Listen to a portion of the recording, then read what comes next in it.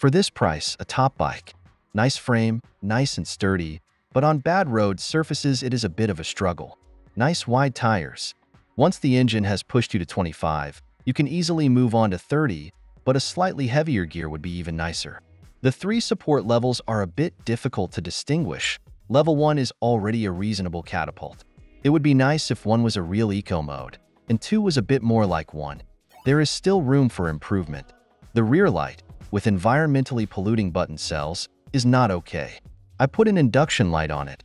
You can also see the BMX pegs with which I replaced the rear wheel bolts, so now my son can sit on the back while standing.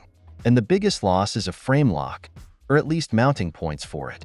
I eventually got an AXA Defender 50mm on it, which works if you deflate the rear tire for a while.